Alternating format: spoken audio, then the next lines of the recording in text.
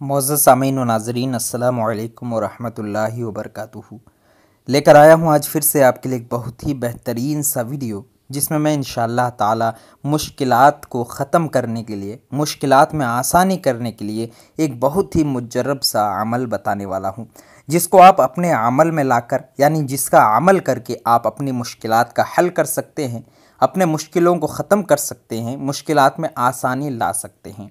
अमल करने का तरीक़ा मैं बताऊँगा। उससे पहले ये बता दूँ कि ये किन किन मुश्किल में आपको काम आ सकता है। आपके ऊपर चाहे किसी तरह की भी कोई मुश्किल, परेशानी आ गई हो, जैसा कि रिस्क में तंगी आ गई हो, या माल दौलत में तंगी आ गई हो, या घर बार में बेबरकती हो गई हो, उसके बारे में आप मुश्किल में है, परेशानी में है, या किसी और तरीके से आप मुश्किल में हैं या परेशानी में हैं तो आप इस अमल को कर सकते हैं। इस अमल को करने के बाद दुआ करें।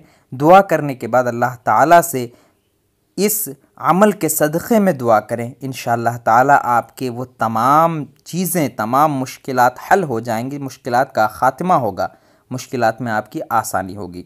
अमल करने का तरीक़ा यह है कि सबसे पहले आपको 11 दिन देखने हैं। 11 दिन देखने का मतलब यह है कि आप इस तरह से अहद करें कि हाँ मैं अब 11 दिनों तक ये अमल करूँगा। जो वक्त में आप पहले दिन अमल करेंगे, उसी वक्त में आपको दूसरे दिन भी करना है, तीसरे दिन, चौथे दिन, पाँचवें दिन।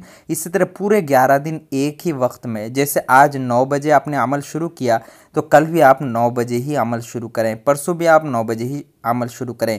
चाहे आप दिन में कर रहे हों या रात में कर रहे हों, एक वक्त होनी चाहिए। दिन के नौ बजे कर रहे हैं तो हर दिन दिन के नौ बजे करें।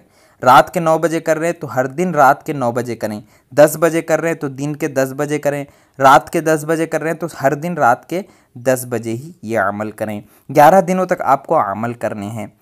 अमल करने का तरीक़ा यह है कि सबसे पहले तीन मरतबा आपको दुरुद पाक पढ़ने हैं। जो भी दरूद आपको याद हो, दुरुद पाक तीन मरतबा पढ़ें। उसके बाद एक मरतबा बिसमीम ये पढ़ लें।